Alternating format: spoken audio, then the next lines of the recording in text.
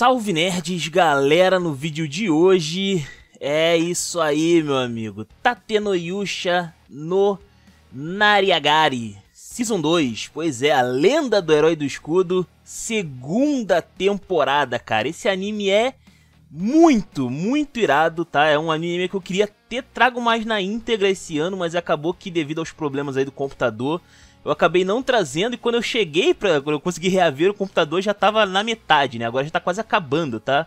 Então eu vou fazer só um resumo normal dele, beleza? E não sei, cara, talvez no futuro eu traga alguma coisa a respeito, cara, porque eu, eu gosto muito desse anime aqui. E bom, vamos falar então pelo menos um pouquinho dele aqui no canal. Depois eu dou um jeito aí de trazer ele mais na íntegra depois, tá? E é isso, vamos lá, sem maiores enrolações, vamos embora pro vídeo. A gente começa aqui então dizendo primeiramente do que se trata Tateno Yusha? Porque, cara, é o seguinte.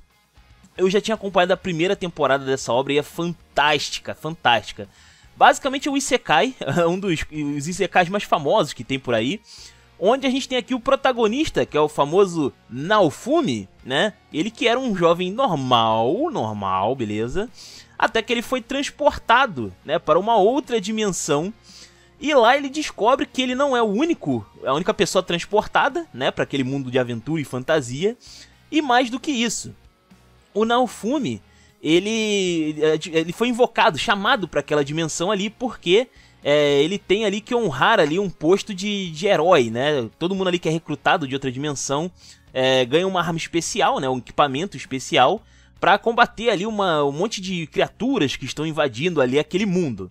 E aí a gente tem ali o herói da espada, o herói, se não me engano, da lança, o herói do arco e tem o herói do escudo. Pois é, e o Naofumi ficou com o escudo, que não é uma arma muito ofensiva, né? E cara, não é só nesse sentido que ele é trollado, porque assim, além dele ser chamado a contragosto, né, para outra dimensão, receber um escudo como equipamento de combate apenas, né? Ainda por cima ele é traído. Pois é, cara, o pessoal dá-lhe uma rasteira sinistra, assim, aparentemente, a princípio, né, sem grandes motivos, né, e ele toma uma rasteira e ele praticamente, ele tava ali pra ser morto e executado, tá ligado? É bizarro pra caramba, o pessoal começou a tratar ele como um bosta, basicamente, ali do nada. A explicação vai sendo dada aos pouquinhos com o decorrer dos episódios, tá? E a gente vê como isso afeta o Naofumi, porque esse momento traumático, que é realmente muito pesado, inclusive no início, a gente sente o psicológico dele sendo abalado aos poucos, né? Na verdade, aos poucos não, foi bem de uma vez, na verdade, né? Foi bem de repente. E ele acabou ficando um cara com um coração de pedra, ele ficou um cara muito duro, muito ríspido. E ele é muito sangue frio, tá ligado? Ele é muito assim, ele virou um cara que é meio. quase que cruel, sabe? De certa forma. Ele, ele enxerga o mundo de uma maneira muito crua nessa outra dimensão, né? E ele ainda consegue fazer ali o seu trabalho, né? De ajudar as pessoas, de lidar ali com as invasões de criaturas e tal. É, mas é, dessa vez ele vai com sangue nos olhos, né? Ele não tá ali, ele não aceita tão de boa assim esse cargo, né? Ele é um pouco mais sangue nos olhos ali e a, principalmente ver a virada dele, né? Como ele muda o como ele muda o ambiente que ele tá, né? Ele tá, ele começa ali numa merda praticamente.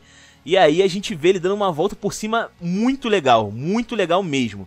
E para isso, ele também acaba juntando ali uma galera que acaba seguindo ele. Tem a Raftalia, que seria ali é, inicialmente uma escrava, né? Que o Naofumi acaba é, adquirindo ali mas ela acaba sendo, a, pode-se dizer, a arma dele, vamos dizer assim, né? Porque além do escudo, ele, é, ele acaba treinando a Raftalia para ser uma personagem ofensiva, para cobrir aquilo que ele não consegue fazer tão bem, né? Então fica bem interessante esse dueto aí. Também tem a Filo, ou Firo, como que ela chamar, que é ali uma espécie de chocobo, vamos dizer assim, que ele encontra pelo caminho, e ela vira uma Loli, não me pergunte por quê, por razões de Japão. É a única coisa que eu consigo pensar a respeito, né? Também tem outros personagens que vão aparecendo no decorrer da história, beleza? E aí, no final da primeira temporada, ele já estava bem arranjado ali, né? Ele meio que realmente provou o ponto dele, ele ficou bem poderoso. Ele é um cara bem meticuloso, ele tem vários planos ali mirabolantes, ele consegue se safar de situações bem complicadas que os outros heróis não conseguem, né? Ele tem, tem, tem, tem um troco que ele dá na tal da Malte, né? Que a gente chama de, carinhosamente de vadia no anime, vocês vão entender quando vocês virem. E, bom, acabou aí gerando uma baita confusão aí na primeira temporada, onde ele deu a volta por cima, né? Mais ou menos ali. E ele conseguiu de fato rivalizar ali com as invasões, né? Até descobrindo que existem outros reinos de outras dimensões que também estão lutando com essas invasões. Isso tudo na primeira temporada. Na segunda, o que a gente vê é uma continuação direta disso daí, tá? A gente vê ali como ele está, ele ganhou, ele tinha ganhado um território ali para ele tomar conta e tal, se eu não me engano. É, a Raftalia e a Filo ainda estão com ele, ele ganhou novos aliados também, como a Rishia, que é uma garota ali que ela era aliada do herói do arco, só que o cara meio que deu um chute na bunda dela porque viu, não viu nenhum potencial nela, achou que ela era inútil e chutou ela ali praticamente. O Naofumi acolheu a menina. Só que acontece que na verdade ela tem um potencial muito grande, ela só não é treinada, vamos dizer assim, naquilo que ela tem que fazer. Mas a gente, inclusive, ela ganha muito destaque nessa segunda temporada. E é maneiro pra caramba de ver aí ela também superando aí os seus desafios, né? E bom, o Naofumi ele já tá mais ou menos arranjado, né? Pelo que aconteceu na primeira temporada. E agora na segunda ocorre uma algo diferente, vai? O, as invasões meio que dão um pause momentaneamente ali. E agora eles estão lidando com uma espécie de World Boys ali, que é uma, uma tartaruga que se levanta ali a cada não sei quantos mil anos ali para coletar almas, basicamente. E o bicho tá fora de controle e Naofumi vai ter que lutar contra esse colosso, basicamente, ali para resolver o problema e salvar o dia mais uma vez, né? Usando ali os seus métodos meticulosos, né? E seu coração é, duro, né? Como pedra. Pois é, e a gente também vê aí como é que. Como é que tá. Como é que eu posso explicar? Uh, como que esse, essas questões psicológicas são bem trabalhadas nesse anime, né, cara? A gente vê ali muito do psicológico dos personagens sendo trabalhado, né? E principalmente como o, aquele mundo afetou o Naofumi e como ele afeta o mundo, né? Porque depois que ele, que ele ficou um cara mais meticuloso, mano, sai da frente. O cara é brabo, tá ligado? O cara é brabo pra. Ele é, ele é insano. O cara faz coisas aqui insanas. E bom, a gente ainda tem vários personagens aí da primeira temporada, né? Como eu falei aí, a Malte. Tem o pessoal aí da outra dimensão também, a tal da Glass lá está de volta, pois é. Tem a rainha Mire Mirelia, se não me engano. Enfim, tem vários personagens aí voltando. Tem uma personagem nova que é a Osti, se não me engano, acho que é assim que fala o nome dela. Que também é uma personagem que apareceu aí, ficou bem legal. Uh, e, cara, interessante também falar sobre o número de episódios, tá? Porque a, a primeira temporada ela teve muitos episódios, era para ser um Isekai raiz mesmo. Ali tinha uns 25 episódios, se não tô enganado. E eu achei que teve episódios demais, talvez. Teve uma parte ali que ficou um pouco paradão, um pouco um anticlímax, inclusive, no, mais ou menos ali um pouco depois da metade uh, da primeira temporada. E talvez não precisasse ser tão longo, vai, aquela temporada ali. E parece que eles ouviram aí as minhas preces e essa segunda temporada tem 13 episódios. Pois é, cara. E uma coisa que eu achei muito peculiar também, né? Um pouco falhado, vamos dizer assim, também foi que o estúdio responsável, né, que é o responsável inclusive pela primeira temporada, que é o é, Kinema Citrus, se eu não estou enganado, eles é, não conseguiram aparentemente fazer o, essa segunda temporada sozinho, tiveram que pedir ajuda ali para um outro estúdio que é o Dear Movie. Pois é, então teve que ser dois estúdios aí para entregar esses três episódios que a gente tá vendo agora, tá? Assim, a animação no geral não tá tão ruim não, mas tem uns 3Dzão aí que eu já, já a gente já sabe já como é que funciona que ficou um tanto safado, né? Até porque né? Não me pareceu muito que eles tentaram investir muito nesse lance aí do 3D não, tá?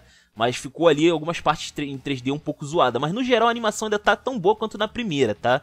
Ah, tirando essas partes aí de 3D, ela tá bem bonita. E, pô, a tartaruga em 3D, tipo, um colossão ali em 3D ficou meio zoado, principalmente. Dá pra ver, ele é totalmente diferente do que tá acontecendo em volta, é bizarro pra caramba. Mas enfim, fora isso daí, tá bem beleza, tá? Tá show de bola. E os três episódios estão bem fluidos, tá bem pegada, tá rolando confusão toda hora praticamente em todos os episódios. E tá bem divertido de assistir. Eles conseguiram fazer, deixar ele mais compacto e deixar mais assistível, vamos dizer assim, vai. Não parece ter nada muito anticlímax aqui nessa temporada. É, já tá disponível aí em japonês, acho que 10 episódios no momento que eu tô gravando esse vídeo, já deve ter saído o 11 primeiro. Uh, ele tá, é, o limite de episódios aparentemente dessa segunda temporada é 13, então já tá quase acabando, tá? E em português já tem acho que seis episódios traduzidos, tá? Legendados, no caso. É legendado? Acho que dublado, tem, acho que tem dublado, é verdade. Tem seis episódios dublados.